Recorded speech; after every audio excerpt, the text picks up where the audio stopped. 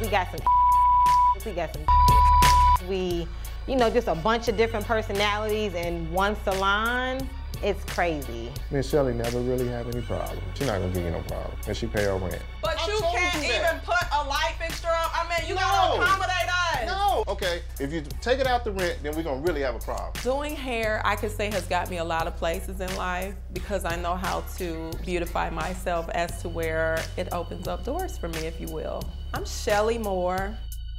People love my work and I love doing it. I don't really do celebrities. From what I hear, they don't like to pay and I need my coins. No, the customer is not always right. Silas, very, very comical, but he tells tall tales. A short man who tells tall tales. Shelly's the bestest. She's like, what is that movie like? It's the House Bunny, I think. I think it's House Bunny. It's just her presentation. It's like, oh my God. But in, inside, it's really not you got me up. You know, when it comes up, oh my God. Silas Brown the Fort.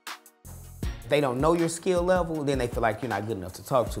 But when they saw that I surpassed some of their skills, it was like, oh, hey, hey, hey, been doing this. Back the up, been doing this. I check codes, I read codes, I get it popping, you know, I say what you want me to say without you having to tell me to say it. You kind of better than that. It's, it's, it's no shame, no secret. Like if you're better than the next person, you're better than the next person.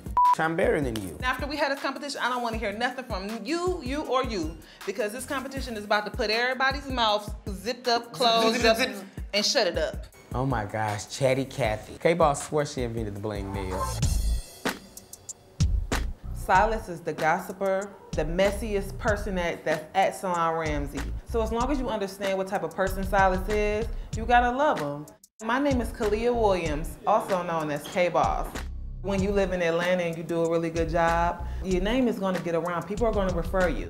Some of my well-known clients would be, um, recently I've done Keyshia Cole, K. Michelle, Rick Ross, T.I. and Tiny, Big Boi from Outkast, a lot of reality stars, the Braxton sisters, love and hip hop stars.